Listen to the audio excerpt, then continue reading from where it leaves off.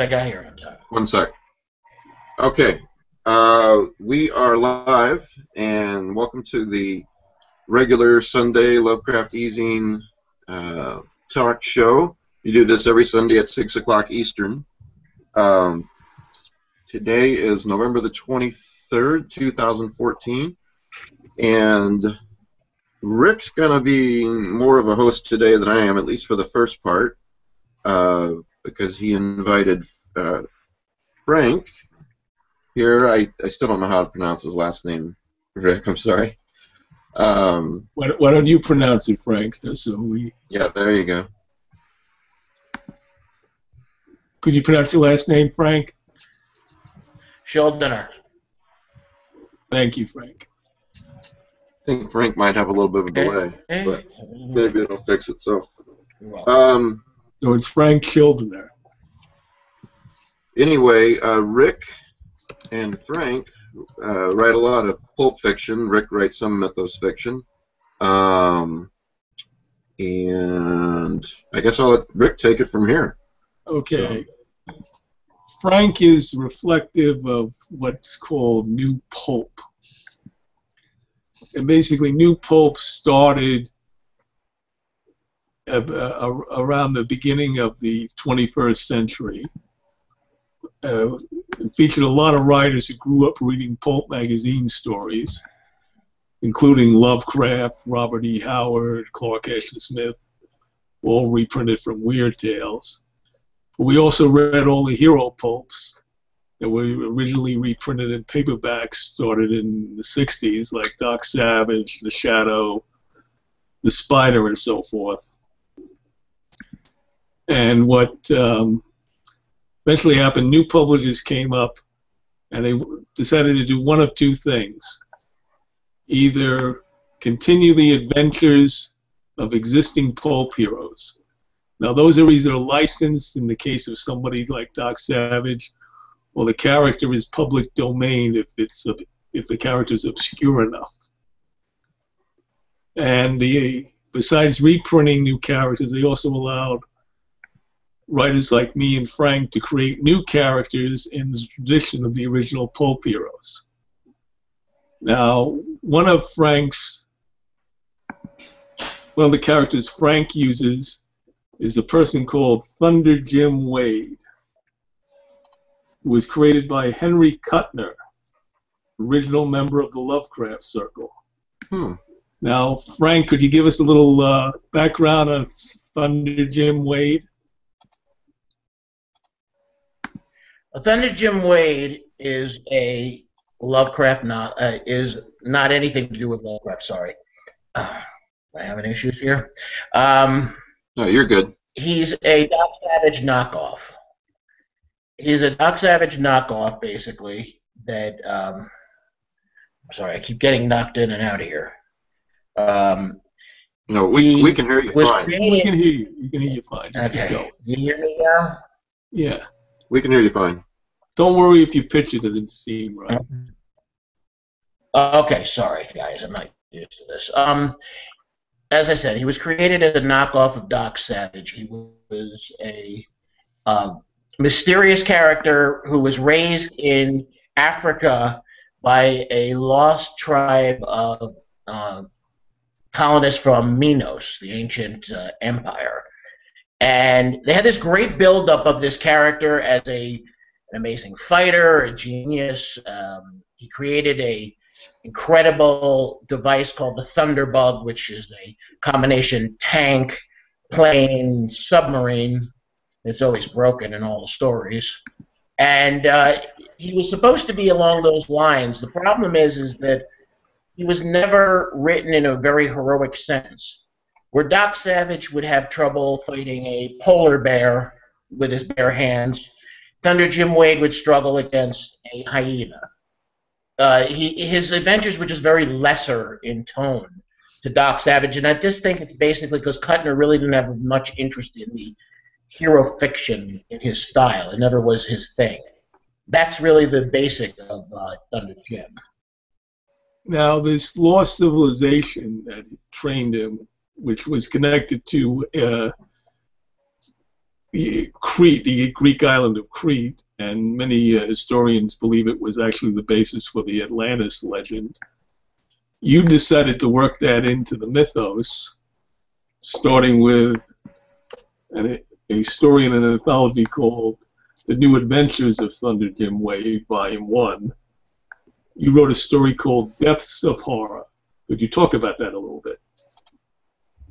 When I think of Thunder Jim Wade, I tried to, you know, I realized the limitations, so I decided to go the opposite direction with him.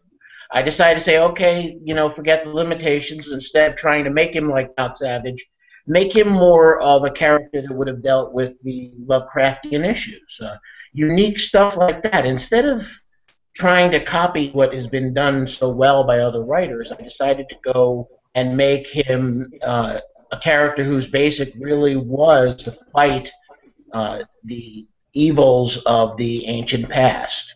Um, in this case, he met up with an ancient evil beneath the sea, and very Lovecraftian, Innsmouth kind of storyline was created, uh, as well as some other stuff uh, I threw in there. It was a fun story to write because I got a chance to play around with uh, the mythos, um, as well as have a little bit of heroic fiction thrown in there as well. It it looks like too. Uh, um, Matt put up a link on our message board to something called First Seas and Other Tales. Yeah. Um, a sea captain fights an ancient evil. A rockabilly a musician battles a scorpion the size of a Cadillac. A gangster takes on the spawn of Cthulhu. Um, can you talk about that uh, book a little bit? And before I forget, guys, everybody watching, I'm giving away a print copy of uh, Lovecraft eZine to a random viewer. So forgot to mention that earlier. Sorry. Go go ahead, Frank. Um, first seas and other tales is really. Um, I decided to play around with uh, heroic fiction, heroic pulp fiction. So I decided to write in different areas and different eras. When we think of heroic fiction and pulp, we think of Doc Savage, the Shadow, the Spider, the Avenger. You know, I could go on for two weeks naming names, and they're all the basic of uh, comic characters to this day. But pulp fiction was a much bigger concept. Uh, Robert E. Howard wrote a great deal of pulp fiction, as did Kuttner and all these amazing writers. And I decided to see what I could do with different areas. So I created a rockabilly musician who uh, is like uh, Silver John, really, for the 50s, 60s era, but in my own way, and dealt with more of a sci-fi kind of horror, you know, the basis of movies like Them, things like that. The first Seas character, Captain Seas, well, there was a villain in the Doc Savage movie named Captain Seas who was just badly used, and I liked the name. And one day I, I was bet that I couldn't write a short fiction story uh, using that name in one day, and I did. So it came out pretty fun. Uh, don't don't tell a writer like that. We have to beat that kind of stuff. That's the cover um, story. Uh, let me put you on the screen. Go ahead. Do that again, Rick. That's the, the Captain Seas story. Is the one with this. Oh, that's a great cover. Yeah, I, I actually, um, Tommy Hancock, the publisher, said choose a visual from any of your stories, and that was the one I came up with, and the artist just did a good job on it. Really proud of that. Yeah. Um, the Lovecraftian story in in most of that was uh, a story that's really more gangster fiction than Lovecraft.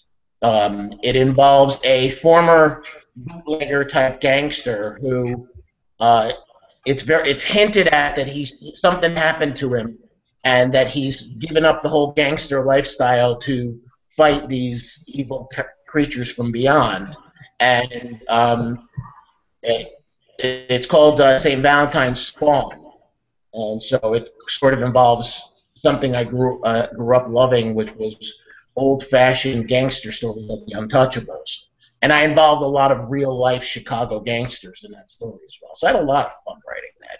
So it was really more of a pulp experiment than anything else, but at least I got a chance to play with my favorite areas. So Mind if I ask you a quick question, Rick? Um, Do, does that do any of those stories? I, I actually haven't read any of them yet. I'm going to have to do that. Uh, do any of them venture into noir at all, or do they stay more pulp? Which I mean, that's not a bad thing. It's a good thing. But I was just curious. I think we lost him again. You there, Frank? I'm here. Um, the uh, the Saint, uh, there he is. We're back. Um, Saint Valentine's Day Spawn is very noir, very uh, um, oh, uh, very um, Lovecraft meets The Untouchables. That's the best way I can call it. Uh, it was a lot of fun to write and a very unique world to play in. Uh, I never tried jamming something like that together, but you know, people are doing that these days, and I'm happy to read it. Yeah. Now, a, a lot of the stories in the anthology, I, I think there were only two that were overtly Cthulhu mythos. Correct. But a lot of them are Lovecraftian in that first seas, for example. I mean, we, we never heard the name Deep One or uh, Cthulhu Spawn or anything else, Shoggoth or whatever. But the creatures, you know, could easily have been related to those uh, monsters. So a, a lot of this is Lovecraftian, right, Frank? Correct. Uh, most of my horror fiction has at least some touch on what Lovecraft started. Um, sometimes it's a little more Howard Love uh, Howard version of Lovecraft. Sometimes it's more like the master himself. Um, sometimes it's just plain crazy what I come up with. Um, I wrote a story called uh, in a Ra- uh, Ravenwood, um, a pulp hero called Ravenwood: The Steps of a Mystery, created by Frederick Davis. Uh, I think Rick has a copy of that one too, um, which is incredibly Lovecraftian. That was the one I got to play with the most. And that's my cover. Mhm. Uh, that the artist version of a Bayeki. Um, And Ravenwood that- is, that's all Lovecraftian. I mean, openly. Mm. Right. Ra- Ravenwood is an interesting character in that uh, he's sort of the forerunner of Marvel Comics' Doctor Strange. Could you go into that a little bit?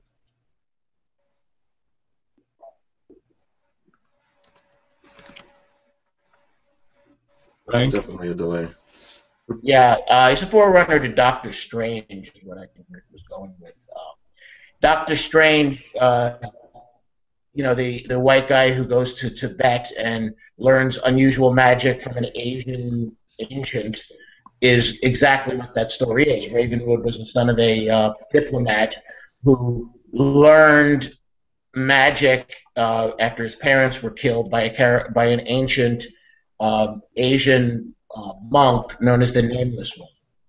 Uh, in that one, um, I took a very famous, uh, well, some people use him as the hero actually, a Nazi Superman known as Sun Koh. Uh, that some people actually write as a protagonist. A friend of Rick's and mine actually do this.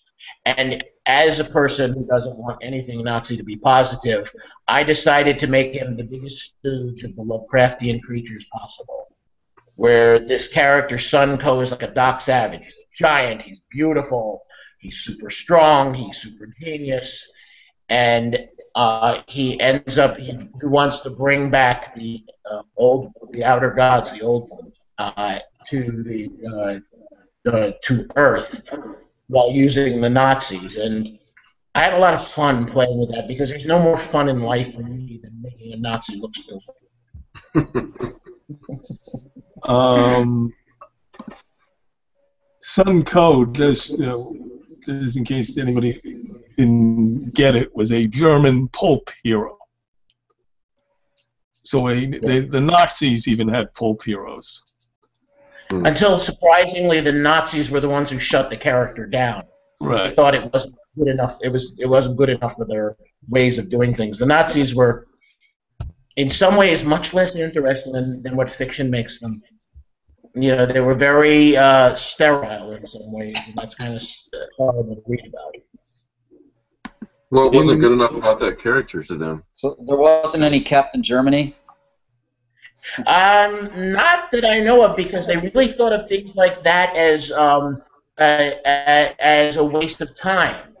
you see, a- as much as we would love to think of of Hitler and all those characters as these overtly occult crazies, the ones that were that really actually believed that stuff, that did that stuff, were a very small percentage of the SS. And even they, most of the people that worked with them thought they were idiots. I mean, they really, there's a lot of writing where, you know, most people would roll their eyes at the, when these guys like Rosenberg and all of that would come about talking about their ancient race theories. Most of them were just really, you know, Nazis were mostly just gangsters that happened to be in a political position. It was much less interesting. So I prefer personally the, pulp- the pulp version of it, where they're, you know, interested in all that kind of stuff. You know, it's more fun. Speaking of Nazis trying to get uh, secrets of the great old ones, you wrote a, another Son of Jim Wade uh, short novel called "The Horror from the Horror, the Horror of Hyperborea." Right. Hmm. It, that was that was pure fun. Hyperborea, it, um, I used a not really the the, the um, Howard version of it more than anything else. I wanted to have a lot of fun with it, so I used like a combination of several versions of it, and it's a very, very uh, mythos-based story where Thunder Jim ends up fighting against a, a um, Nazi Superman uh, whose father is a very legendary villain in all of fiction at this point. Uh, did I just say it, uh, Rick? Yeah, you can say it. Yeah, it- it's Baron Frankenstein. Uh, Baron Frankenstein, the evil version, not the Cli- uh, the Colin Clive version, but the twisted, evil, nasty version, uh, who is using the Nazis as for his own crazy ideas. So, It was a lot of fun.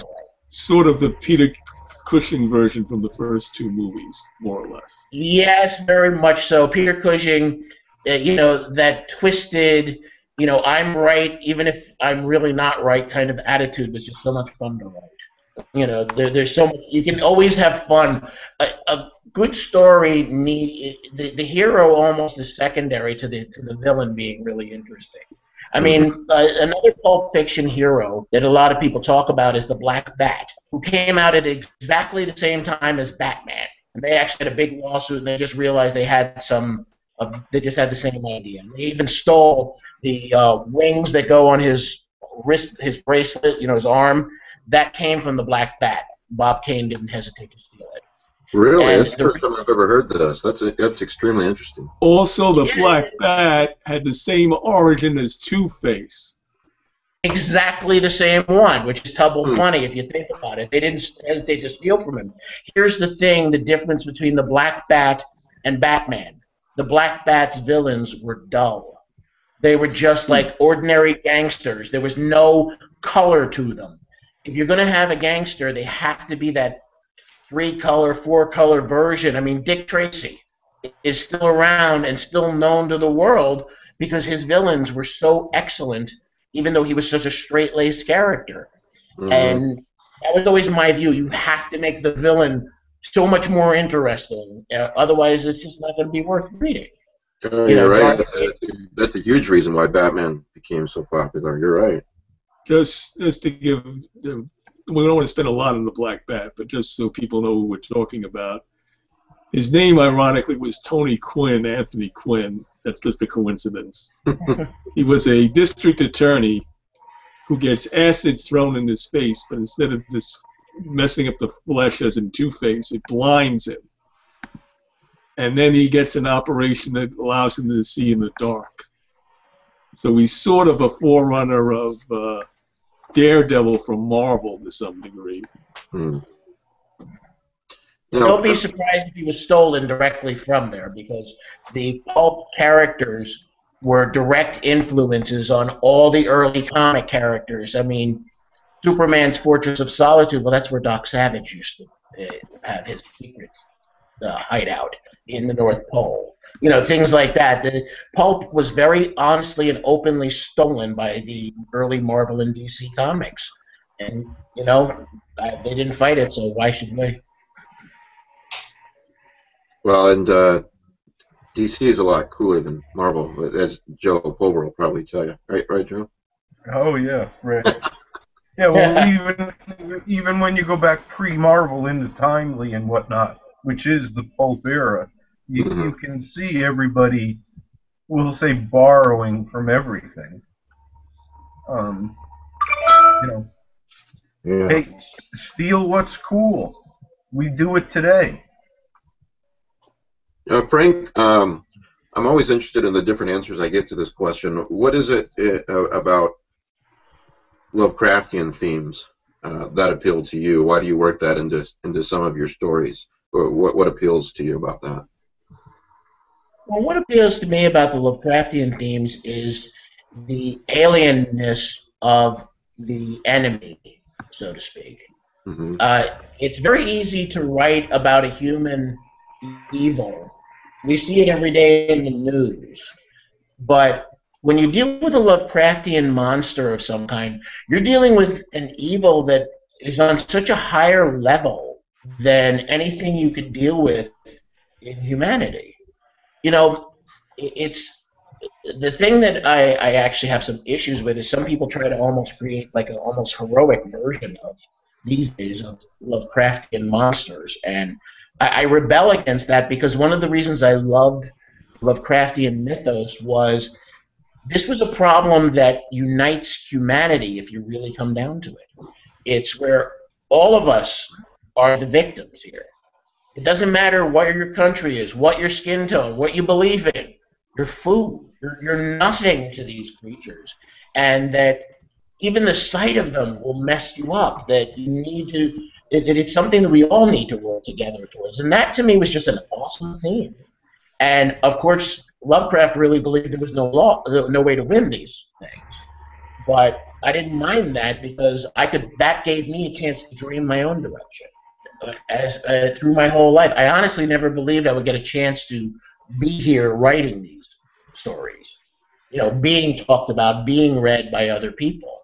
So to me, the the theme of that overwhelming horror, that alien power that is beyond us all, that you almost has to unite us to survive.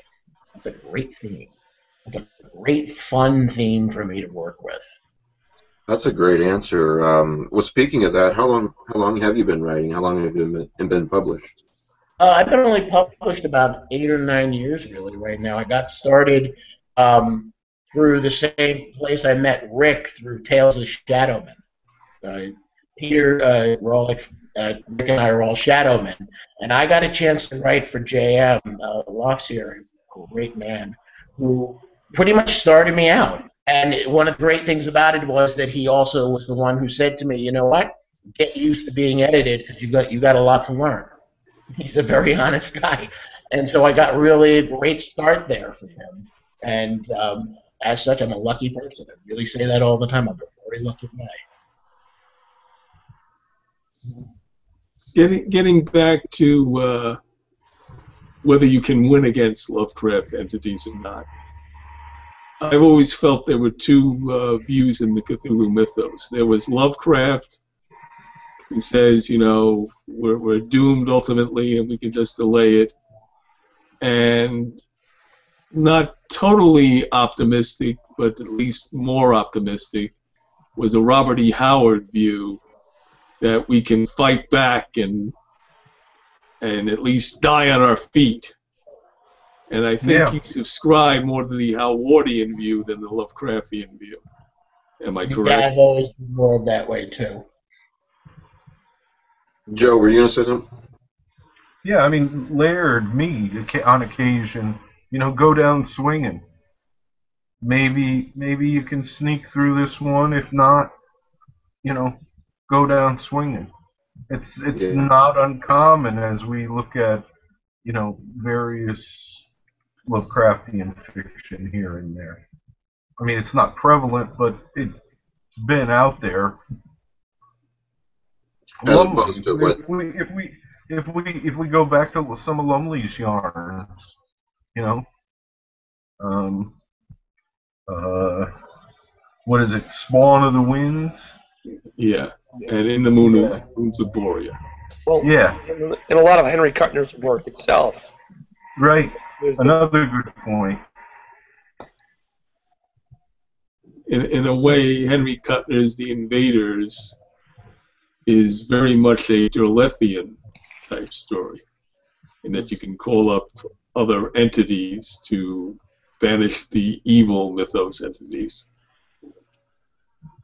Whether Yeah. they're rivals or good guys is not clear in Kuttner.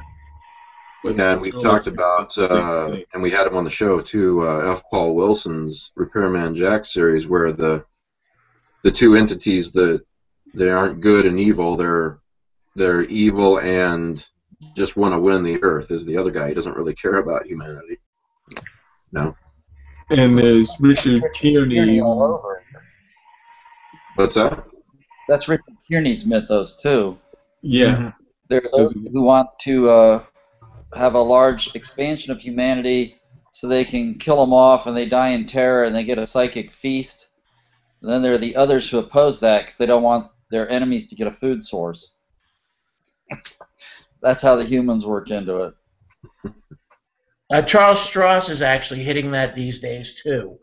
Um, his uh, laundry series talks about how uh, he calls it Case Nightmare Green, the day that there, that the invasion begins, and he says one of the reasons is simply because there are just too many humans. Uh, it, it's a food source, and he's very he gets into a very almost bureaucratic way of dealing with it. That's very interesting because I work in civil service to see how a civil service mind deals with Lovecrafty creatures. Someone asked me one time what I thought, uh, just to to really summarize what Lovecraft was all about, and my answer was, I thought about that for a second. I thought, okay, probably you can summarize it to four words: there is no hope. So, you just can't win. well, there, Back in- lately there has been people who believe otherwise, but I don't agree with that.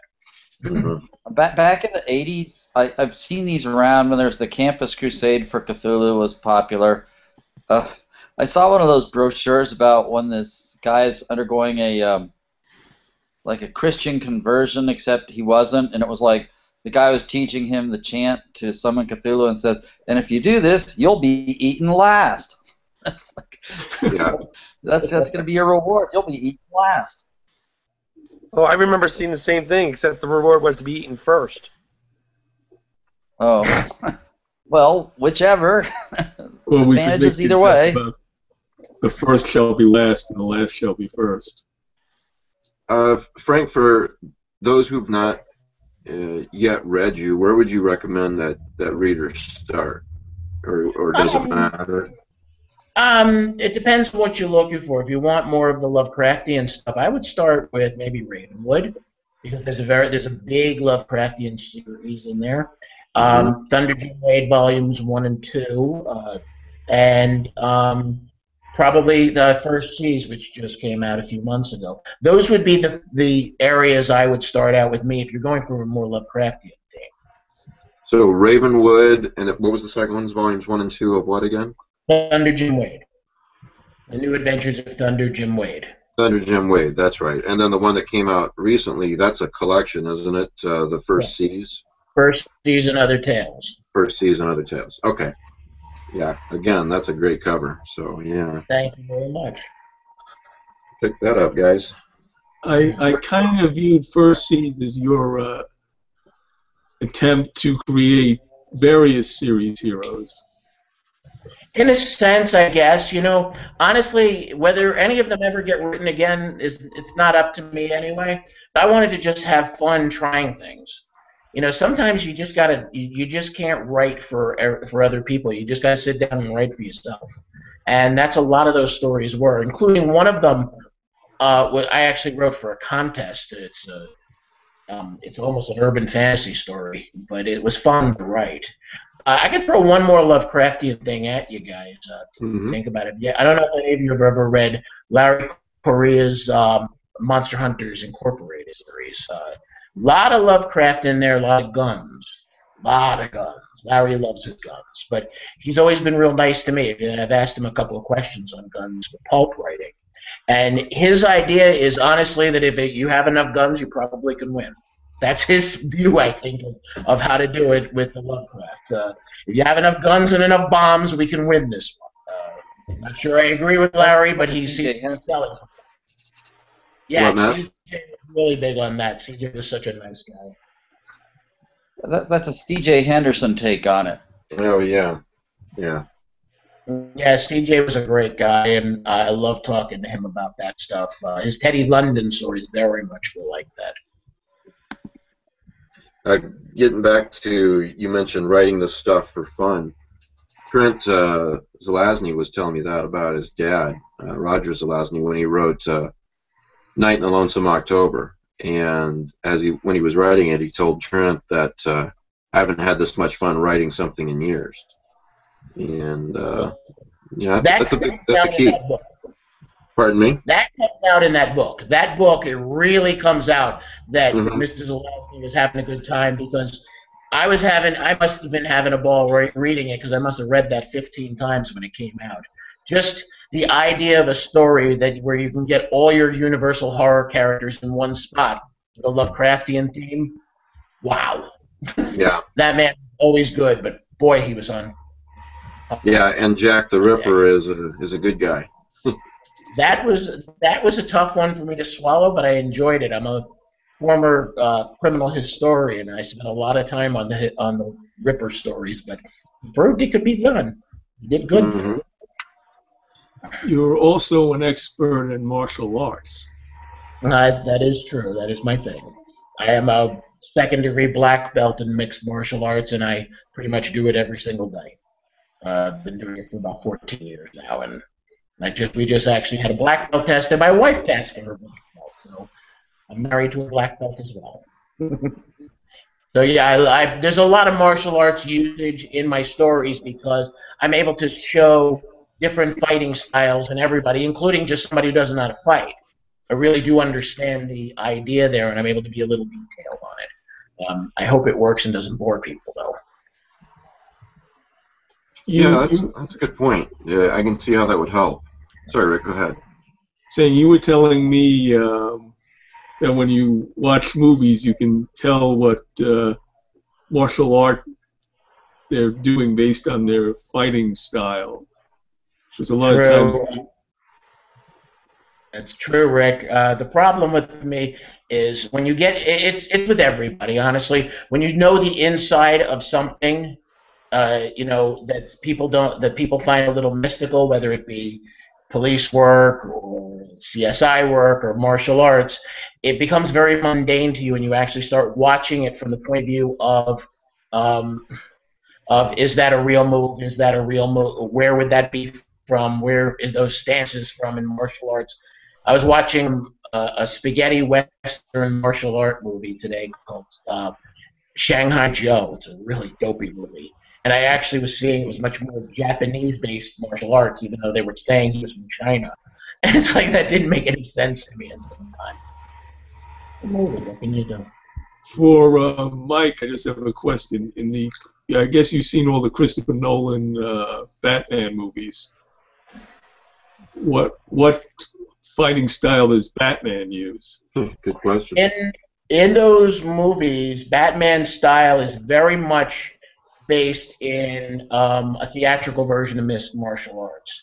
His movements are more Japanese style um, than anything else. His stances are very high. If you you see the way he stands, he doesn't stand very low, and he keeps his hands and elbows kind of close to his body. His kicks are not very high and flashy, which would suggest something like uh, one of my teacher styles uh, he mastered is called Kyokushin Kai, very tough system created by a man named Oyama, uh, and where it, where the shots are meant to satsu, death in one punch. That's what that's the basis really of what he does there. But he mixes it up because he uses some aikido in his throws. Um, no real grappling shown there because grappling isn't very visual for most people. Last time I saw grappling in a movie was the first Sherlock Holmes movie with Robert Downey Jr., where he and Watson had the giant guy Frenchman, and he actually used a real grappling move to disable the man, um, an armbar that's very dangerous. Right. Uh, but on the whole, I would say more of a Japanese MMA style. Uh, it was where Batman came from. Yeah, Rick's right. I'm a huge Batman fan, and that that would have been a great trilogy if it hadn't been for the the last movie. You know, it's just I don't thought it was awful. Well, I didn't think it was awful. I just thought ridiculous. I, I've always had an issue with the whole broken back thing from the beginning. Mhm. I mean, comic, but uh, you know, it- and uh, what the heck was going on with Bane's voice? it's like you know Yeah. that just kept taking me out of the film. Um, I did like Yeah. the way they had Bane fighting. His fighting system is very realistic. Um, it, it was similar in a style to me, where you sort of occasionally will take a punch and you know, uh, but it, he didn't look right. I, I expect Bane to be you know, almost professional wrestler style. Yeah, yeah. I have a question for Joe. What style does Captain America use in the Marvel movie? Huh? Well, I mean, to Fra- let Frank answer. that. Well, uh, Captain America's style is a theatrical version of wushu, which is Chinese. It Involves a lot of jumping, a lot of uh, moving around, um, quick, fast movement, uh, flashy kicks, you know, a lot of backflips and stuff like that. You can see versions of that in the um, Shaw Brothers films, the versions of that it's a more realistic basis, but that is where it really came from, in my opinion. Um, and and I enjoyed it. You know, I can get myself out. of it. Yeah. Well, plus he's got super strength, you know, which how much uh, how much does he need to use martial arts? You you know, you'd think. But Well, Captain America, I mean. you know, you know, I guess you're right, but he can help him from Thor. Yeah. Yeah. Uh, I would say that he's going to have more problems when he fights the Black Panther, who has his skill level and some more acrobatic style of fighting. In um, one of the recent comics, the Black Panther of World War II took on Captain America and beat the heck out of him. So it was kind of fun to watch that. Kind of watch that. Yeah, and DC Comics, I don't know so much recently, but well, yeah, in the '90s, that you would say this is accurate too. But uh, Batman taught Superman a lot of uh, martial arts moves, just you know, for the occasions that Superman came up against somebody at his strength level or, or near it, you know. So Mhm. uh, uh, that was always fun for me to see. Yeah, they, um, from what I gather, and I've left the comic world pretty basically, except for my friends like Jay Piscopo and people like that. Uh, Batman now apparently, uh, Batman now, now apparently is the master of like 232 versions of martial arts, which, you know, my teacher has been doing it for 43 years, and he's a master of about seven, and he's a former United States champion and professional bodyguard. So 232, and the guy's like what, 28, 29, or something like that, 30. They- They're getting a little demented. You know, I- I'd like to see how they can, but whatever. You know, it's a, it's a comic. Yeah. Rick, you got any more questions for Frank? Yeah, Um, just I have one. Yeah, go ahead. Uh, go, Matt. since uh, this is only sort of vaguely related, but since you like the pulp stuff and you like the martial arts, if you're going to recommend us a movie where the martial arts are, say, the best spectacle that we could see that's kind of accurate, what would it be? Enter the Dragon with Bruce Lee. Enter the Dragon with After all these years. of all these years, he was the he was 50 years ahead of the world when he did that. The opening sequence of that movie, he's fighting Sammo Hung, the great kung fu star in later years after him. He starts out traditional kung fu, changes to more of an American kickboxing style, and uses a grappling move known as a crucifix to beat him in the end. It is a perfect spectacle demonstrating pure martial arts in one location. I would always say Enter the Dragon first and foremost on everything. It's it's the forerunner of everything that came afterwards. Rick? Yeah, I have just one. Since, since you, Pete, and I all write for Tales of the, the Shadowmen, which is a uh, crossover type anthology written in, in the style of Philip Jose Farmer. We've all tied the Cthulhu mythos into something which you wouldn't in a million years think have any connection to the mythos. What is the most obscure thing you've linked the Cthulhu mythos in a story? And then ask Pete, and I'll give my answer as well. Uh, for me, it's probably in the story that's coming. Uh, I have a story coming up in uh, in this where I actually create the origin of Simon King of the Witches. Uh, you know, uh, that you cannot get more obscure demented than that. Um, I combine Dennis Wheatley, who I love, Simon King of the Witches, um, a French demoness known as Mephisto, and Rosemary's Baby in one spot in an almost Lovecraftian story. It, it has kind of hidden Lovecraftian tale, and uh, I, I'm more interested in how people that like Simon King of the Witches, which is a demented, will take it, because I actually explain where it comes from. How about you, Pete? What's the most obscure thing you've done? Well, um, there's that scene in there- well, actually, the whole chapter on reanimators where Charlie Chan wa- wanders into Dr. Hartwell's office and says, "My wife is pregnant. Help me out here." But uh, and then Charlie Chan ends up dying and being brought back. Um, that's probably the most bizarre thing I've ever done um, in terms of crossover fiction. The um, the piece that's coming up uh, in December in Tales of the Shadowmen 11 is a is a um, Robert Peasley uh, story uh, set in uh, Clark Ashton Smith's Lord with uh, a reference to um, the Colossus of Ylourgne. Now, when you say the most bizarre thing you've ever done, you are referring to your fiction, right? Yeah, and not fiction, fiction. and not stealing cars and Not sneaking stealing out cars, having sex with fish. No, we're not talking about that. Sex with fish.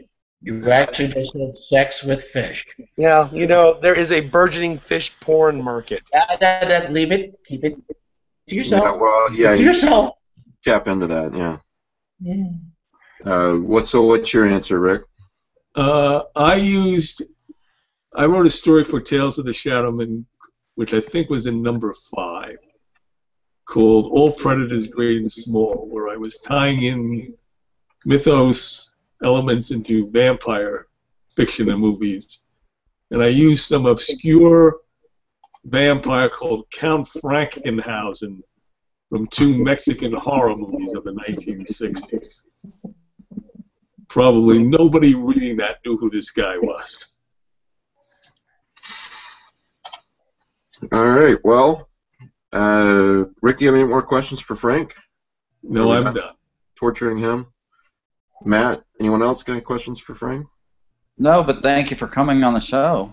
Oh, it's a pleasure. Yeah. Uh, so again, yeah, thank you, Frank, and again to the audience. Uh, yeah, I'm mostly a Lovecraftian audience, you know, weird fiction, Lovecraftian. Um, if you're interested in Frank's work, uh, like you said a few minutes ago, he just came out with uh, his collection. Uh, remind me again, uh, Seas one. What was that? First, First season of seed. First, first Seas and Other Tales. Yeah, let me put you on the screen, Rick. There you go. There it And then, um, what were the other two?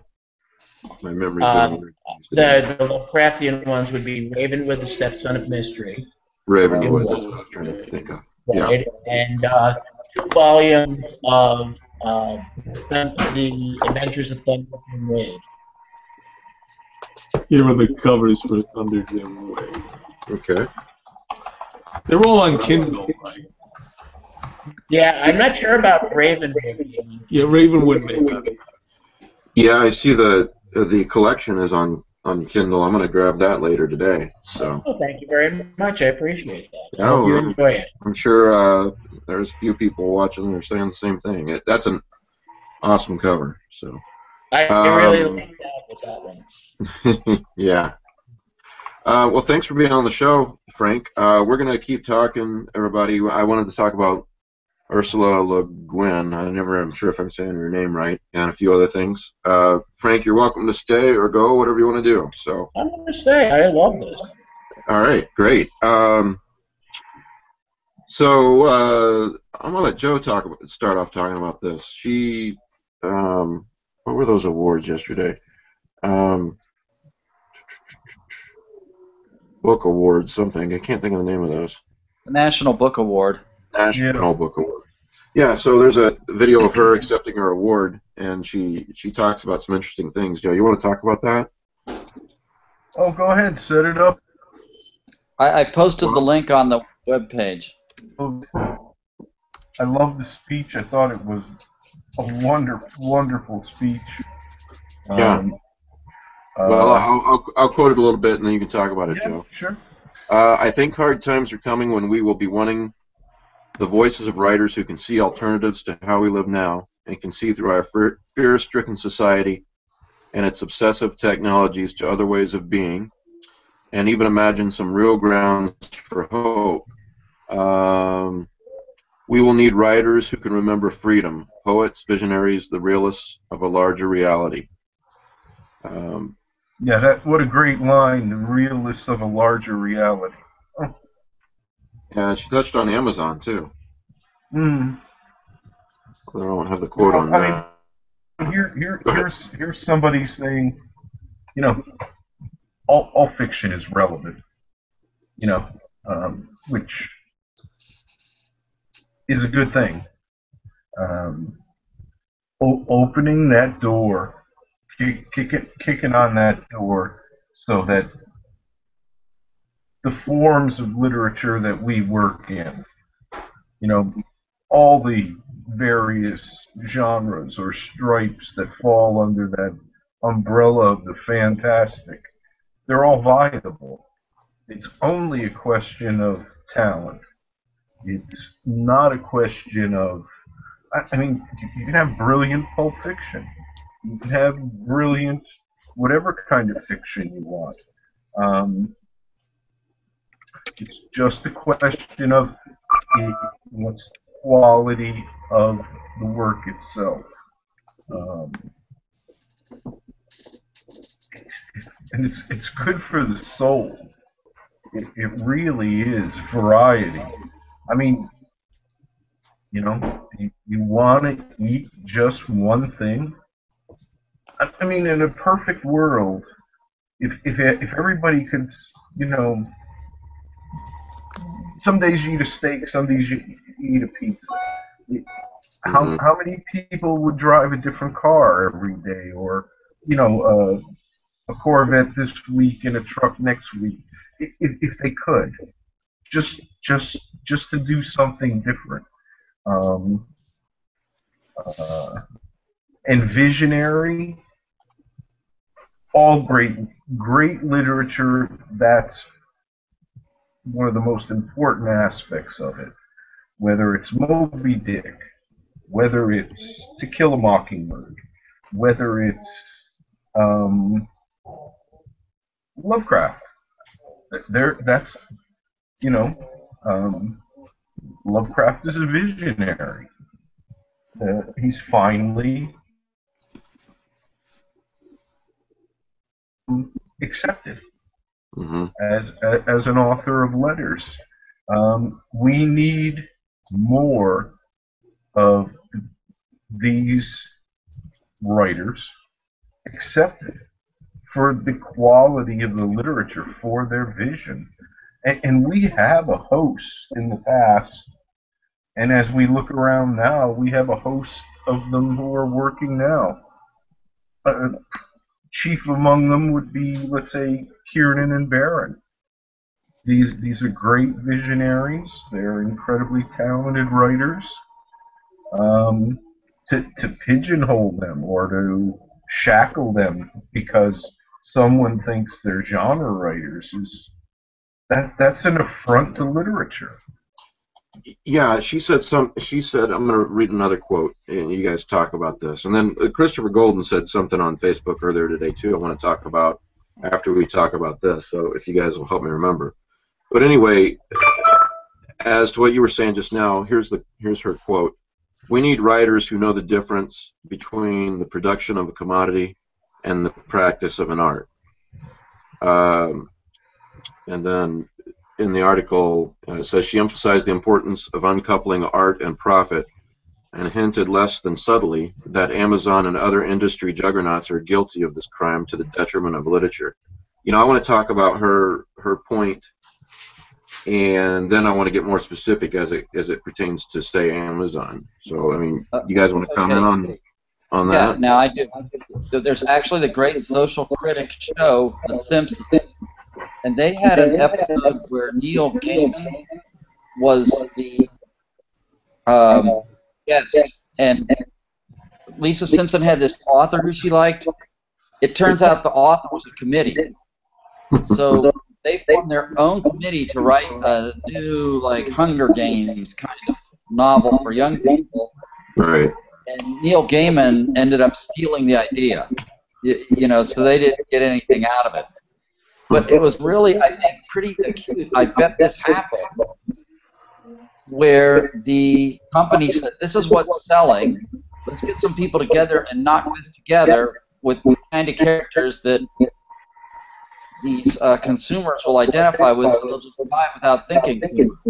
Right, and let's go over it mercilessly and say, okay, that works, that doesn't work. Not to the point of, not to the point of uh, it's good or it's bad or it's good writing or bad writing or good characterization, but to the point of, uh, okay, that'll sell better than that. You know, that'll sell better than that.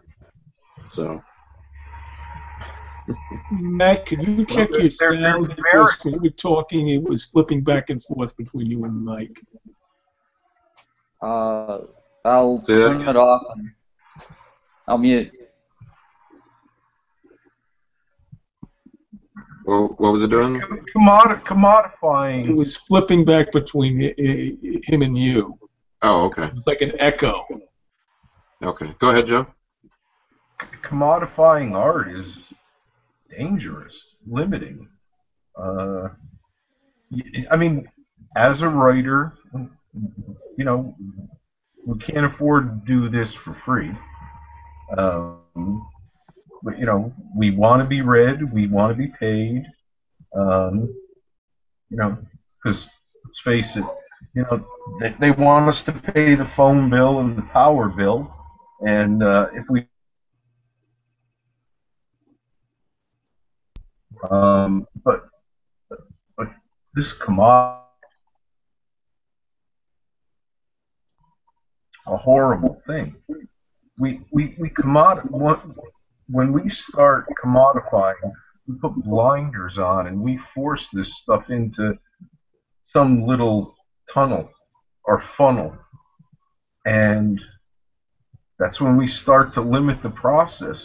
And and once we place limits on it artistically, that then it suffers. And the first the first person who takes the body shot is the reader.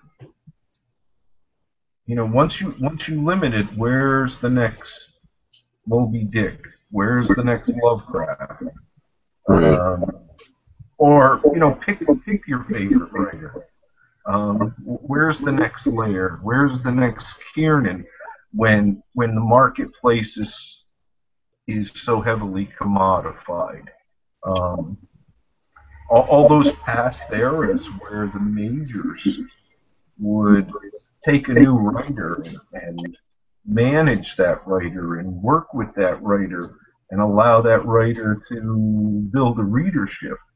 Um, if, if, if, if we commodify too heavily, then that which is that that's shrunken over the decades, that would disappear altogether. Um, What is she trying to say more specifically when it comes to Amazon? Um, Well, Amazon's just a monster. Amazon's Walmart. Yeah. It's it's forcing the marketplace to do what it wants. And it's obvious Amazon has long-term long-term goals, and and they want to be the only game in town. Well, the only game on the planet. And and they're trying to box everybody in. You know, they want to tie both hands behind people's back until you have no option but to agree to what they want you to agree to. And as we do that more and more, then we become more limited. Um, yeah, Amazon is a great tool, buying. It's all there. You can get it quick.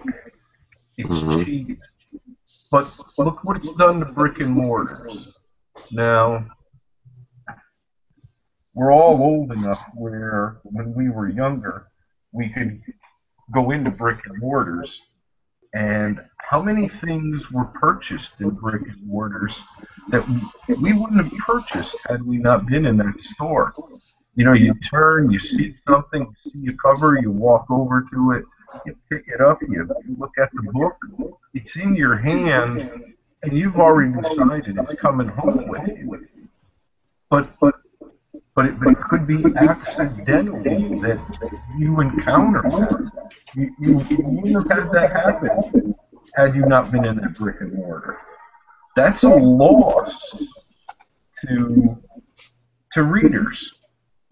Well, let me Uh, let me play devil's advocate, and I I don't disagree. There's been they, they've definitely done some bullying, uh, but talking about from the reader side, what you were just talking about just now, you're right. You've lost that, and I'm not going to disagree with that at all. However, at the same time, I I find myself I've got far more access to books than I used to have. That's a great thing. You know, for, for that guy who's in One Horse Dorp, upstate New York, and it would be an hour and a half to drive someplace that had anything that remotely looked like a bookstore, that's a mm-hmm. great boon. And to be able to buy the books at discounted prices for the reader, for the customer, is a great boon. But just just like anything else, you know, it's a two-edged sword. Um, so yes, it's helping. It helps some people a lot. Um, I, I'm interested in that because Matt's a great reader and, and buys tons of stuff.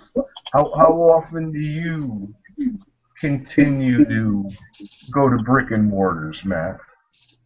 Uh, well, part of the thing is I've lived in several cities through my military career, and um, there was a bookstore in Denver called the Tattered Cover that was five stories. My Hmm. wife and I didn't have any kids. Friday night we'd go out to dinner. We'd stop by the bookstore. We'd waste hours there going up and down. And then I lived in uh, Dayton, Ohio, and there's this store called Books and Company where they had a big open section where they'd have people playing chamber music on Sundays and they'd have pastries and you go around and read whatever you want. I have never been in like in San Antonio, they had nothing like that. Biloxi, Mississippi, forget it. Uh, here in Peoria, no way. You know, I've just recently found the Contemporary Arts Center for little modern music gigs.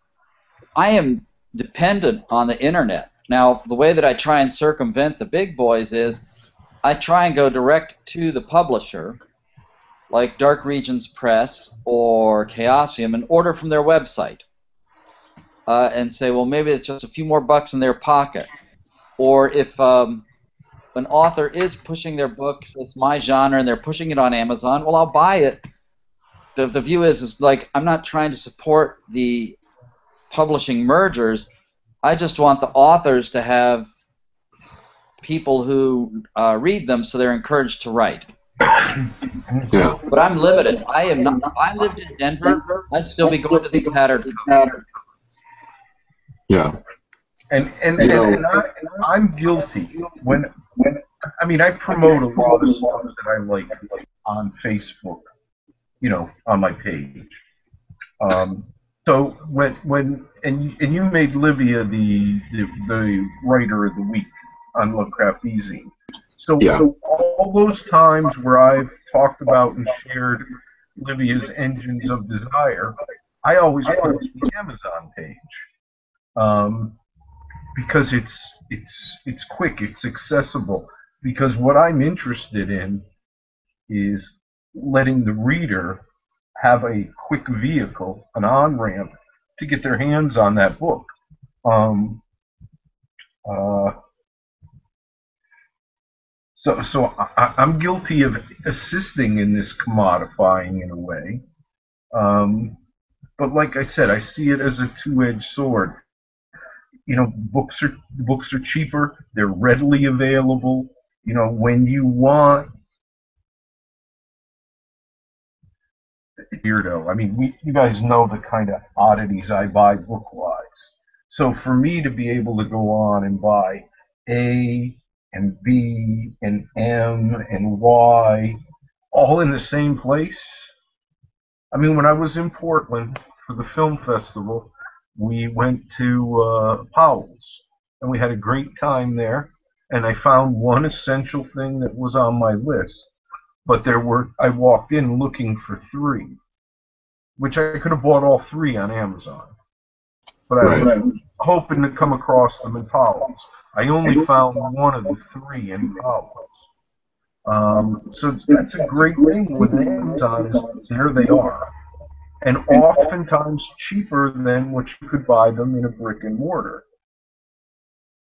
But again, we make Amazon a bigger entity, and I can't help it. For the life of me, I think there is monstrous intentions in the background there. They don't want to. Yeah, I mean, when they first started, yeah, they were a big bookstore. They were cool as hell. Wow, I can get that. This is great. Now they want to sell everything. And they don't, they don't want us going anywhere else. Yeah, and I, I don't want to come off as um, defending Amazon because there's definitely been some bullying going on, and I, I think you guys are more attuned to it than I am. Uh, but I, I do think, like pretty much what you're saying, Joe, it's it's more of a nuanced response. Um, you know, as small press, Amazon helps immensely, um, and there's some uh, let's take it a step further. There's some very good. There's a lot of self-published crap out there. You know, maybe 80, Well, 90 percent of self-published is crap. But there's some very good self-published authors out there too. Oh yeah. Um, Look, so it's a difficult question. I, I see self-published the same way as I see regularly published. Ninety-five percent of it is crap. You know, whether it's music, whether it's books, uh, film. You know, um, there's. But you- you're right with with with with with with literature. There are some really wonderful things being written and self-published. Um, we, we have a lot of writers who parts of their catalog are being returned to them. They've been out of print for years, and these people are now um, putting them in, into ebooks and, and, and selling them themselves. Right. Uh, you know, so when, when I complain about ebooks, uh, my, my complaint is that somebody out there who shouldn't be writing, who has no talent and no ability and doesn't even have interesting ideas, is got some series with like 14 ebooks. And these things just clutter the marketplace. Right. I'm, I'm not talking about the good ones. I'm talking about the sludge. You know, we, we don't even want to be on the same side of the street as this material. Yeah. But the same thing happens with real published books. If I can jump in, Yeah. Go ahead. I got some. Um, this actually didn't really start so much with Amazon. Um, I saw this phenomena started in the early '90s, uh, with the publishers themselves in the young adult market started taking out the original short books that they were doing and publishing more and more series with the idea of multi-phase marketing. You know, trying to get the TV series, the uh, the comic books, all of that. They were they pushed out the regular writers, the the uh, people who were trying to rise up through that market, and replaced it with corporate interests, like Mike had spoken about earlier. It's it became uh, a market that was flooded, and still is to this day, with corporate planned series. They find the concept of the moment and they write it with the idea of hiring somebody to do it and throwing them off if they don't need them with uh, with the hope of selling it as a TV series or a web series or uh, anything else that can be bigger. So Amazon really, in a way, just seized on what the publishers started. They just did it better. They just did it smarter, and they started pushing the publishers out too. You know, it really came down to this. To this. Yeah.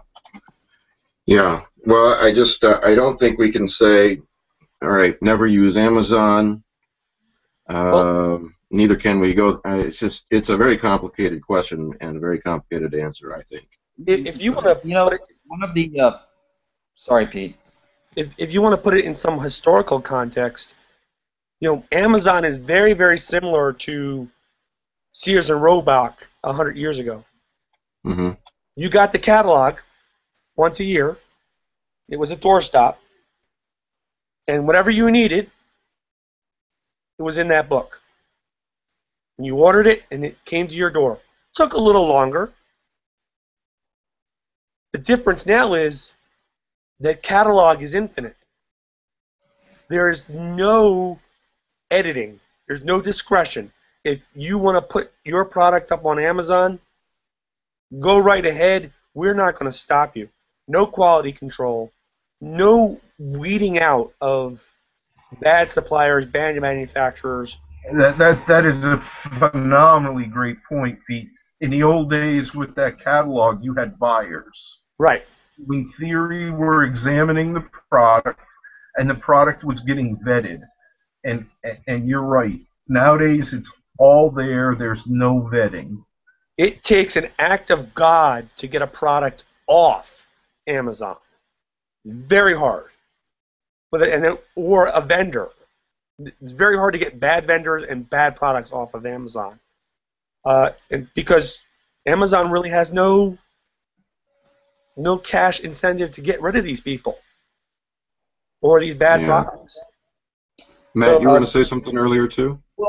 of something that's very interesting that that um, who Charlie Stross reviewed in detail all the history of publishing and the ins and outs and why things fell apart and the move away from uh, books that were regionally sold in the supermarkets to Walden books to the fall of uh, things like um, uh, Borders books um, and music and and kind of why this happened and where the publishing company is going since he's an author who this is his living, he's very interested in it, and he's also extremely tech savvy.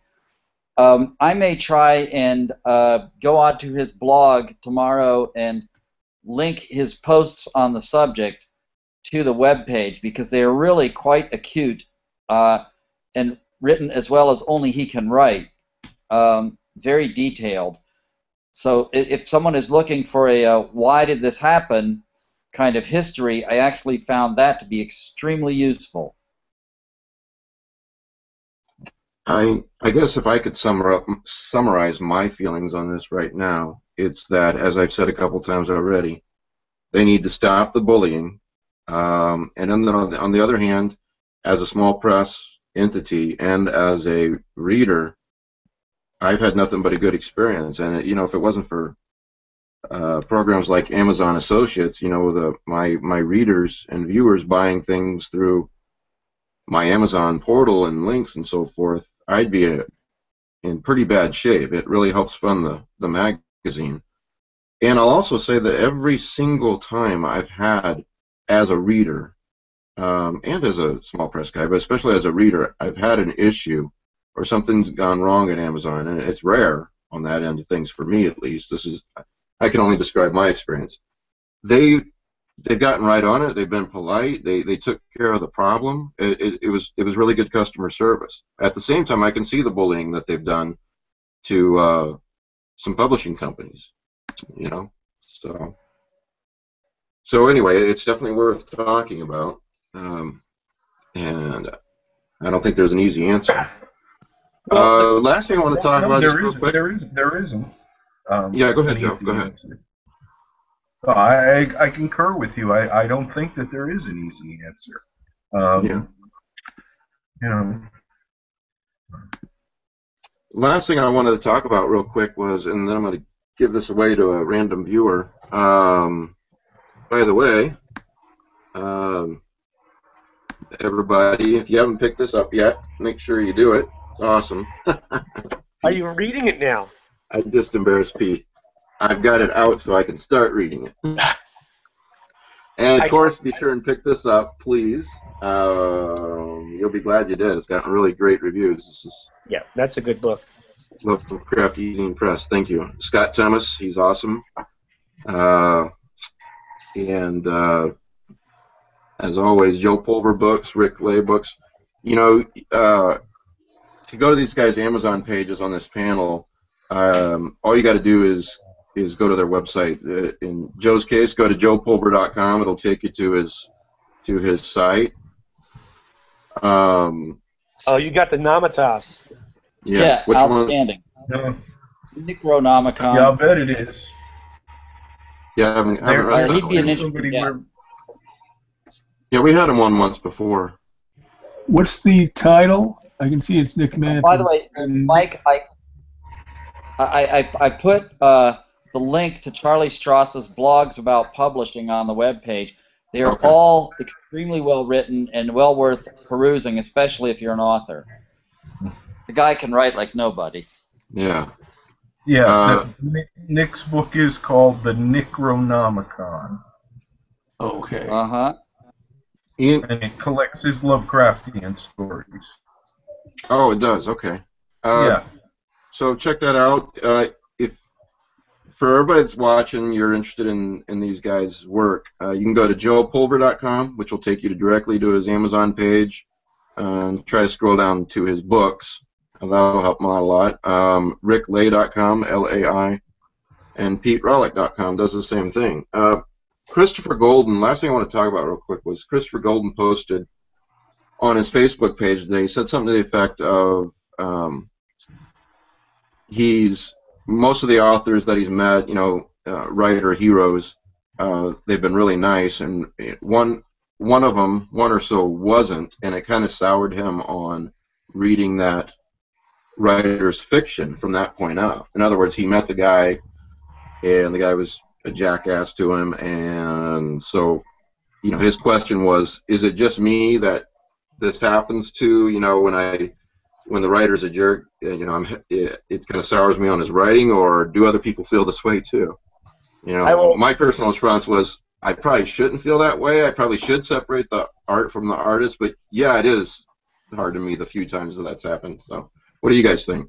I, I got a story for this. Okay. So, back in 1980, I, I'm not going to name names or the product, but back in '86, I became a big fan of a, a a small press comic that I really enjoyed. It was almost self-published, and it took about eight years to get all the issues out, and it became a best-selling movie, and it just had a huge amount of merchandising associated with it. Absolutely loved it. Bought everything this guy did.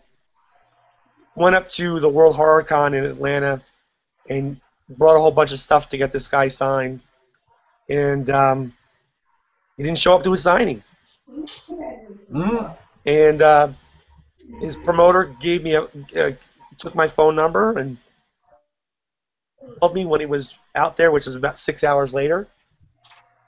And um, guy's a cokehead.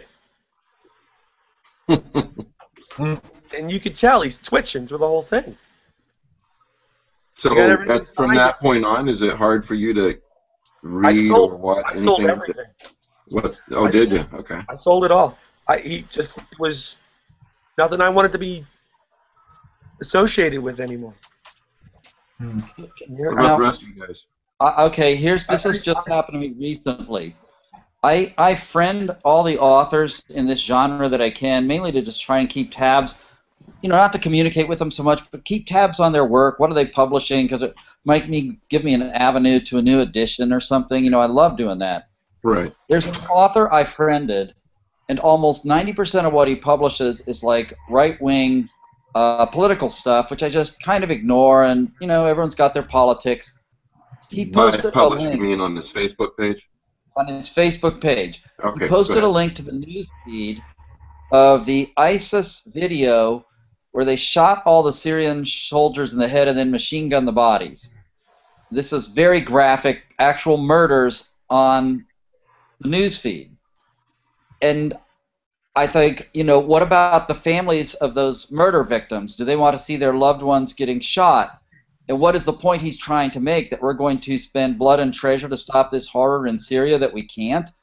Okay, it's like so I protested to Facebook that this was inappropriate content for the news feed because it was too violent because my kids go on my webpage, you know, and they said it does not violate our policy on violence. Excuse I'd rather see wait a minute. someone. If- if- let me be blunt. I'd rather see someone sucking a dick than getting shot in the head. Okay. You know, you know the You know, thing is, I'd rather see porn than murder. This was Yeah. real murder. So I unfriended the guy. And uh, he's not written anything major, but he's written a few Lovecraftian pieces. Mhm. And I am, I don't know if I'm going to get anything else of his. Because, and I even wrote him a note saying, because of this video, I'm unfriending you. You know, I know that doesn't mean anything, but it was just the point was, do they think this is right to post something so horrible just because they want to shock people that the current uh, president isn't doing all he can? Right. Joe, what were you going to say? Um, there is a, pic- a painting. I don't know. It's 100 years old, 150 years old. It's it's a bunch of witches riding broomsticks against the night sky. They're they're all naked. You can see breasts. You can see nipples, etc., etc., etc. I, I love the painting, and and I've forgotten who's done it. If, if I if I could throw it up here quick, everybody would go, oh yeah, I've seen that. Um, but Halloween, I couldn't put that up because there's breasts and nipples. It's a work of art. But somebody can put up what Matt just described. Now, I know that there's been That's a good point. what, a, a half a dozen of these beheadings. You know, and I've heard them semi-described on the news. Um, I've been told that they're easy to find on the net. I wouldn't look at that. That's, you know, it, it's one thing to watch an old horror movie. It's another thing to see a human being actually murdered. Um, no way. I, I can't believe that that would be allowed. Not on, Yeah. You know. Well, you know, Joe, Americans, especially, it seems, and we all have violence is okay, but uh, a breast is not. You know, I don't, I don't get it. This isn't Well, pretend is, violence. Like These Matt said, lives his, his ending. kids No, I, I know. Yeah. he, Matt Matt's Matt's got young sons. Um, you know, his kids come in and out of the room. Pete has daughters. We we have spouses. You know, uh, there there are things that we don't need to see or shouldn't see. Uh, So I when mean, I I write on occasion quite graphically about violence, violence. Uh, you know, So, Joe, how do you feel as to my question? If a if an author, whether on Facebook, like Matt just gave his example, or you meet them in person and they're just an absolute jerk, does that personally? So does that sour you on the next time they have a book come out, do, do you feel like, oh, I just It it it very well can because I'm one of those. You know, if if if, if you're not a nice person, I don't want to bother with you. Mhm. And if if if if if you're an ass bag, last thing I want to do is put money in your pocket. good I- point. There's there's a million books out there I'm not going to get to read that I want to read. So even if you're good, you know, I'll just skip over to another book. There's dozens and dozens I don't have that I want. You know, um, uh, and there's nothing wrong if that happens. Um, now, in defense of, I've been to a whole lot of conventions, and um, people come up, and you spend the amount of time with them that you can. Maybe you're busy, maybe you're en route to somewhere. You know, maybe you've got a panel you're supposed to be on in 10 minutes, and you're not sure where the uh, rooms room is yet. Um, Right, But and, and you have to brush off someone and say, no, I got to go, you know. I, I w- in in 2007, I think it was, in Saratoga at World Fantasy, Willem and I were standing in the hallway, and Ellen Datlow breezed by, and and Willem grabbed her, and she was very nice, hi, blah blah blah, you know, and and within, you know, almost immediately after the introductions, said, "You guys really have to excuse me. I'd love to ch- be able to chat." but I have five minutes to find this room that I'm on this panel. Right. Of course, there's there's a lady who's busier than you know a rat at a garbage convention. Um, Well, and, and we all have sense days where we. I get, wouldn't hold that against her. no, and, and we all have days where we get a little crabby, or Yeah, you know, or you know, I remember a couple of conventions ago, and it's great, but people kept coming up to me, and, oh, you're the Lovecraft eZine guy, and, and it, it really is great, but I was really in a lot of pain, as per usual. I was getting really tired, and I just had to escape. Molly showed me where the the green room was, and got me out of there. But it can happen. But you know, I, I'm more talking about someone who's just an absolute jerk and doesn't need to be. You know, um, does that sour you? And I, it does for me. I mean, Rick and well, what, you know the other thing too though is is, is I, I I think most people are, are are discerning enough that, that that they can figure out was it somebody who was busy or is it somebody who's just an asshole.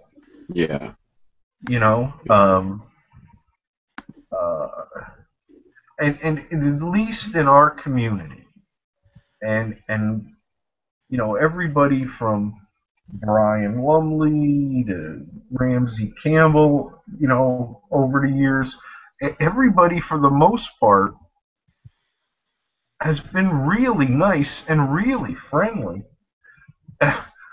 You know I, I mean I can remember 95, 96 at one of the early Necronomicons, and there was a Ramsey Campbell, and it wasn't a proper signing, it was a reading, and then a get together afterward. And a guy came up with a hand truck, and he introduced them uh, with boxes of books. And he introduced himself to Ramsey Campbell, and he swore that he was not a dealer, and there weren't two volumes of anything in the books. They were just all Ramsey Campbell books. hmm And and there was this little grin and expression like, "Oh my God, I'm now my arm's gonna fall off signing those." yeah, But he said, "Tell as he was." As, as the books were being signed, you, you could tell the guy wasn't a dealer. I mean, he Yeah. was just like all these books that he treasured were being signed by the author. Um, I, I think you can tell who we are when you meet us. Um, And most of us aren't shy.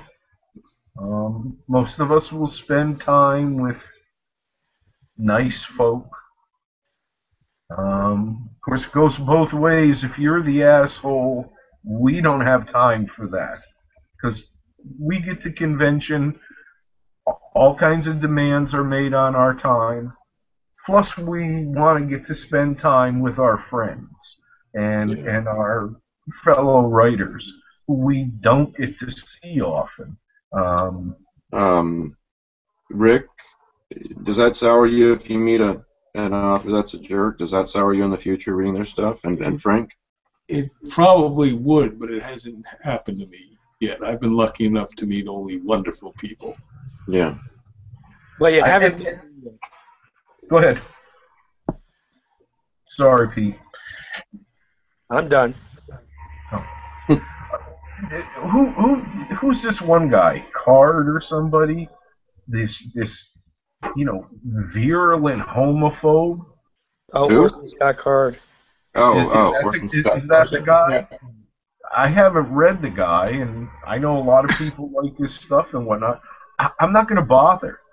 Right. Right. I, you know, if I mean, That's exactly the point I was going to make. Um, Yeah. Go ahead, Frank.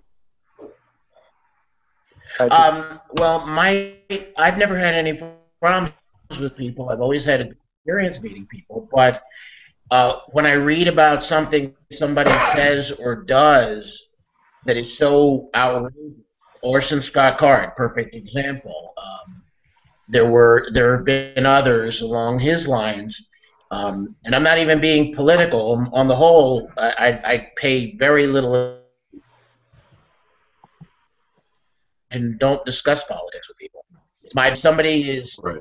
either violently racist or homophobic or something like that. That um, well, I, I Orson Scott Card's the perfect example. I had a game when I when I read it originally, and I had a copy of it always. And I couldn't bring myself to burn them or throw them out like dramatic fashion, but I gave them all to the library, saying, you know, some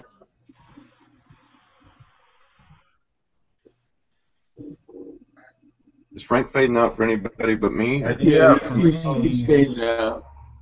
I, I think Um, Orson Scott Card like turned on his control dial and zapped him. I mean, you know, his past and the kinds that he I, I mean, here's- let's face it. We, we, yeah. we Go ahead, Joe. we're, we're, we're all human beings. We're we're we're emotional as well as intellectual. We have our likes and dislikes, and maybe maybe we do a good job controlling them, but you can't always turn them on or turn them off. And if to some people they're what the what the I'm a writer if I say that I'm predominantly a liberal, well, there might be conservative people out there who go, "Oh, forget it, I don't want to read that kind of guy. That's very true. They're entitled. You know, it's it's like I don't do religion, I don't do politics in general. I, you know, it's that I talk about amongst my friends, not on social media. Social media, you know what? I'm going to go to the mall and say, "Oh, I don't like this, and I'm for that, and I'm against that." I don't do that. Social media is a public forum. Um, so what, whatever. There, I don't think there's any right or wrong here. If if you don't want to read someone because of who they are, not their writing, but because of who they are as, as a human being, or as an inhuman or unhuman, that's fine.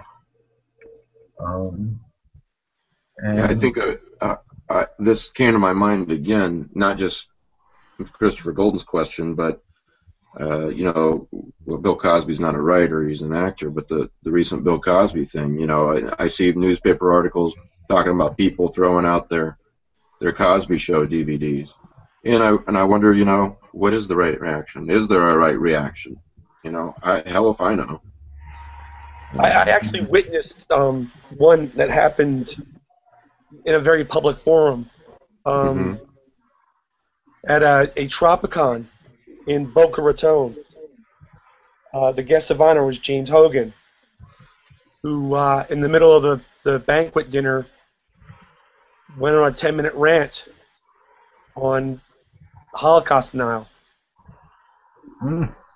And given that, you know, Adam Troy Castro and Mike Resnick were in the audience, lots of words were said.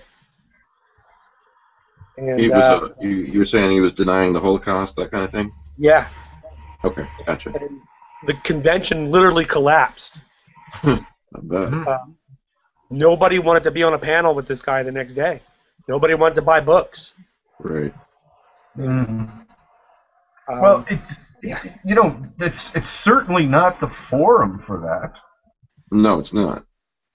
The, You the know, issue with Bill Cosby is is what you have right now are allegations. You know what I Mhm. mean? Right. Yep. It's like that gets into it's like one thing to witness something like Pete did. It's another to have these allegations and then you we desperately don't want them to be true. Maybe they are true, which would be just a tragedy. Mm-hmm. But shouldn't we better reserve it till there is some kind of uh, you, you're absolutely right, and I was I, I should have been a little bit more. I should have said something to the effect of assuming it's true. Um, you know, but but you already have some people throwing out their Cosby DVDs. You know, I just you know, it's sometimes it it's hard to separate the art from the artist, and I I question sometimes if I should even even try. There's one writer in our particular pond, our genre, that they're a real jerk to everybody, and while I think they're a very talented writer, I, I can't pick up another one of their books because of it. So that's my reaction. Maybe somebody else's reaction would be different. Yeah, okay, well, let, here, let's, let's, let's, let's say time can heal some of these wounds. hmm Like, um, I will listen to uh, Siegfried's Rhine Journey. Gorgeous, lovely orchestral textures, wonderful use of the winds. No one could write like Wagner. And he was a vile anti Semite. You know, in Israel, they won't let anyone play the music of Richard Strauss, who was like the music minister for the Reich. And he is the one who wrote also Sprach Zarathustra, which is that wonderful um, Pythagorean chord progression that starts off 2001: A Space Odyssey. Yeah, you know, Matt, that's an excellent point. That there's there is a huge difference between someone who had an attitude or or did something say 200 years ago, and someone you ran across in a convention yesterday and they kicked you in the balls or whatever, metaphorically. So, so Oh, yeah, that's a good point. Talk about Nick Mamatas again. He wrote an essay recently. It was linked to on his page, where why should people write Lovecraftian fiction today? And Right. he spends the first two thirds of the essay explaining why he was such a bad guy and why his racism was bad and stuff. And then he goes to these contortions to say that, you know, but why should we worry about it? He's 80 years dead. it's like, dude, I don't think that hard about it. You know, I enjoy it. I, That's I don't embrace well. his racism parts, uh, but I enjoy what I enjoy, and I'm not. And it's like obviously you do too because I got a whole book that says you do. Right. I don't know. I don't know no, what the right answer is. What comes to Lovecraft? I don't, I don't know Was he racist? Yeah. Okay. Um, I'm done. Let's move on. But, but on this whole subject, I don't know that there is a right answer. No. I, I think the only right answer is for the individual to make up their own mind. If, if you want to look around and see what other people think, okay, that's fine.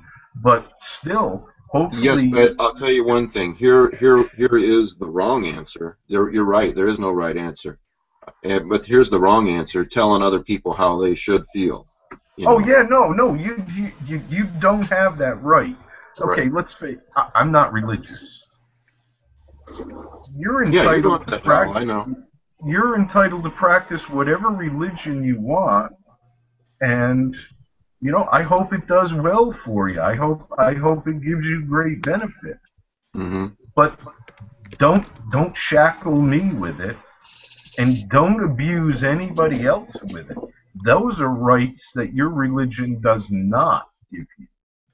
Um, So again, you know, everything is individual when when we're here. Um, you know, writers. I, I know writers who are good friends of mine who are very conservative, and on virtually, you know, ninety nine point nine nine nine nine nine, we disagree. Mm-hmm. Um, still decent people. Yeah. Um, just because we don't agree on this and that, we agree on other things. You know, we like stuff, quite a bit of the same stuff, or or we wouldn't be friends. Um, I- I once I, I have patients who come into my clinic who are diametrically do not believe the way that I believe.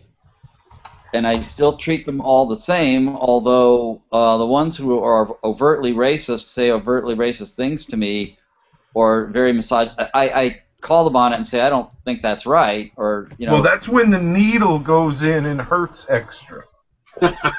Right. You know, it's like everyone gets That's treated the same, but it's like I, it's like I'm not gonna like sit someone let that let someone sit there and use racist remarks. Y- You, Right. know what I mean? In front of me, why should I have to put myself through that? Yeah, you Right. shouldn't. It's your office. Throw them out on their ear. I Well- just advise that maybe we shouldn't talk about that in this setting. Yeah. Yeah. Uh, again, we're, we're in theory we're all in, intelligent. Make you know, do your own evaluation, make your own decision. Yep. You know? Well, I thought it was an interesting question that Christopher Golden posed, and I, I thought it would be interesting to talk about it. So thanks, guys. Um, for everybody watching, uh, I want to give away a co- print copy of Lovecraft eZine. Um, doesn't have to be this particular one, um, but if you would like to be in on that that drawing, uh, email me now at lovecraftezine at gmail.com. Lovecraft E Z I N E at gmail.com. And please put in the subject um, magazine contest. We'll go with that. And I will use random.org to pick somebody uh, in five or ten minutes after the show is over, and I'll I'll email that person and I'll I'll put their name on the message board as well. So and, and so there anyway. something I'd like to touch on. yeah, please go ahead, Joe. When we were talking about Amazon and commodifying and whatnot, and, Mhm. and Matt Matt's excellent at this, and he always brings it up, and he's to be commended for it. Because Matt does. Matt will, when he wants new strands of his book, he'll go to Hippocampus and buy it. You know, Right. which supports the press and Simon. Um, for for everybody, when you come across a press that is issuing material, books that you enjoy, when you become a fan of Wilum Pugmire or Pete Rawlik, I don't know why you'd become a fan of Pete Rawlik, but if you've had a few too many drinks, you know, and you think he needs a new fishing pole or something, you know, or, or Laird Barron. It doesn't matter. of. Let's look at Kiernan for a second.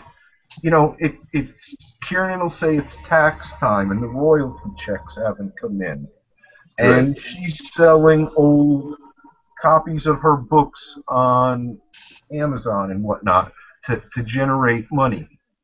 Writers, we there we can always use a review. I know somebody who's in the process of reviewing a book of mine that's four years old. And they said, Well, I'm sorry, I should have before, and I just thought about it. I, that's fine. You love the book and you're writing a review, which you're going to post. Reviews help. Sharing posts. If you see something that looks interesting, you know, um, you know, Pete's got a new book coming in April. Wow, that looks pretty cool. Share it. Um, we Yeah, we could absolutely. all use the help. The old business models where writers, authors were nurtured and carried along until they developed their a, a large enough readership. They don't exist anymore. For the for the most part, we do our own promotion. whether we do it well or not. And the other thing is, is there's no goddamn handbook on how much is too much, um, and we all sweat about it. I I have seen more than one writer like, you know, or received a message. It's like, "Y- you think that looked like spam? No, I don't. But somewhere out there, somebody did. Um, we we Yeah, it's a, it's a big, help. it's it's a hard balance. Yeah, but we really and truly could use your help.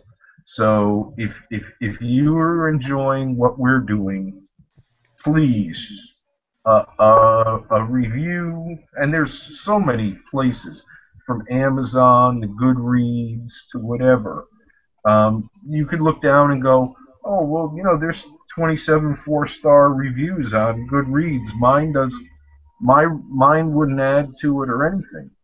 Sure, it would because the 28th positive is is valid. The number goes up. Um, uh, so just as readers, you, you can play a very large, especially nowadays, you can play a very large role in what is going on in in the sales of books. Just by raising your hand and saying, "Yeah, that one's good." Um, Yeah.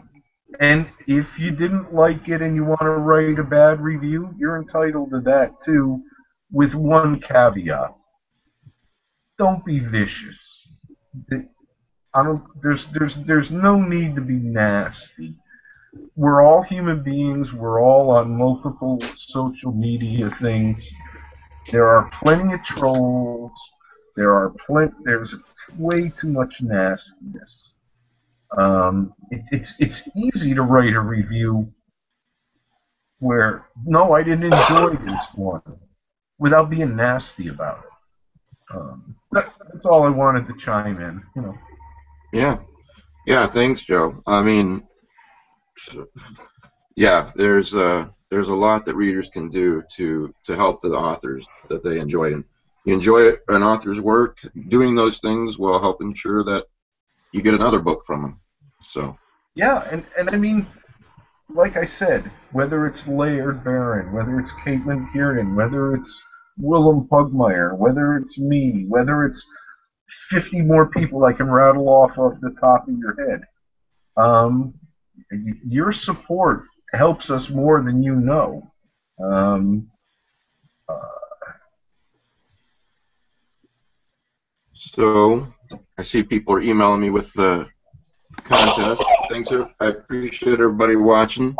And guys, thanks for being on the panel. Um, Frank, thanks for being here. And anytime you want to come back, much. you're certainly welcome to. So Thanks, Mike. thanks, oh, guys. thank you very much. You guys have a good week. Talk to you you soon. later. Thanks for watching, everyone.